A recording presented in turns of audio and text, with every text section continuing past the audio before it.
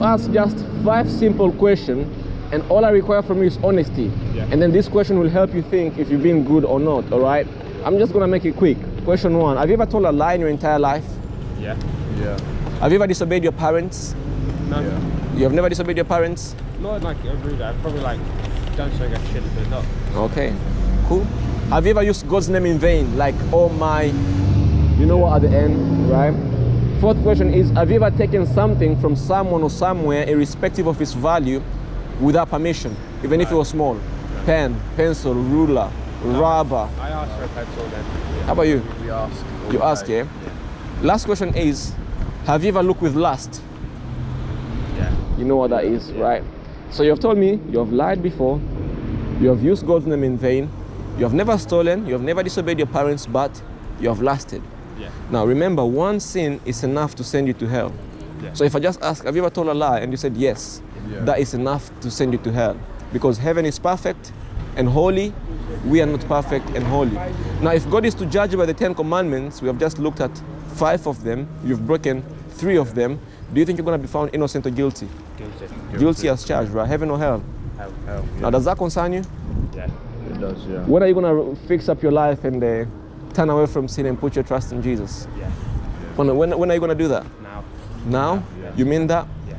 Let me finish the gospel for you now. This is what it means. The Ten Commandments are called the moral laws. You have heard of the Ten Commandments, yeah? Thou shalt not lie, thou shalt not kill, thou shalt have no other gods before me. All of that is called the moral laws. Yeah. Whose moral laws? God's moral laws. You and me have broken those moral laws. Christ paid the fine of those moral laws by dying for us on the cross. Yeah. He was whipped, he was stripped naked, he was humiliated before men, he was spat on, he, he- eh, they put a, a crown of thorns on his head, and then he was nailed to a cross, and then he died. But he was buried, and praise God, he rose again from the dead. And now he says, if you repent of your sins, which, which means acknowledge that you're a sinner, turn away from that sin, and put your trust in me, I will grant you eternal life. That's what Jesus said. And you're willing to do that now, right? You really mean that from your heart? Now, when you do that, three things you must realize is very important is this. You need to pray. You need to read your Bible. Do you have a Bible?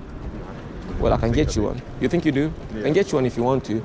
And you need to fellowship with other believers, like going to church and uh, just fellowship with Bible believing churches. Not all churches are Bible believing. Some churches are running away from the from the teachings of the Bible. So you follow a church that follow the Bible, right? And if you're willing to do that now, what's your name, brother? Xander.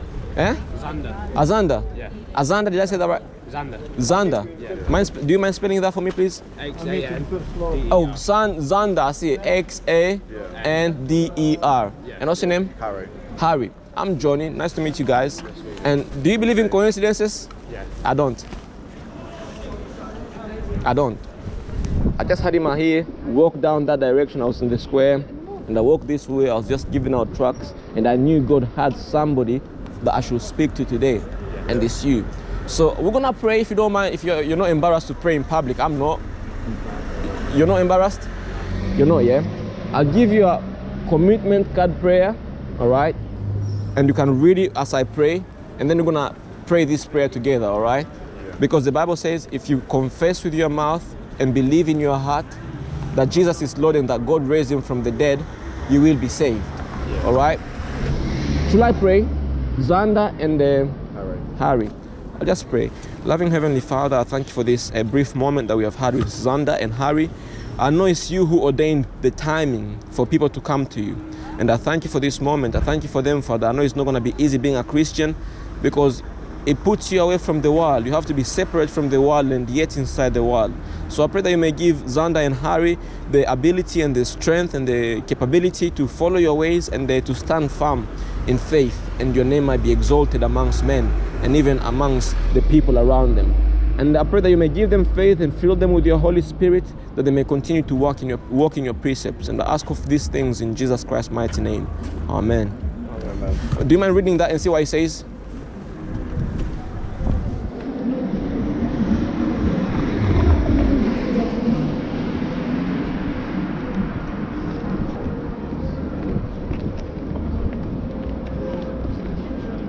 Do you agree with that? So I, all, all, all I'll do is I'll ask you to pray this after me, obviously. So it, it can be coming from your heart and your mouth, obviously. Repeat after me if you don't mind. Lord Jesus Christ, Lord Jesus Christ, I'm sorry for the things I've done wrong. I'm sorry for the things I've done wrong. Please forgive me. Please forgive me. I now turn from everything that I know is sin. I've done from everything I know is sin. Thank you that you died on the cross for me Thank you that you died on the cross for me. and you rose from the dead. And you rose from the dead. I declare that you're my Lord and Savior. Thank you, my Lord and Savior. Thank you for giving me the Holy Spirit Thank you for giving me the Holy Spirit to help me and guide me. help me and guide me. I commit my life to you. I commit my life to you. Amen. Amen. Now, should I tell you what you've just done?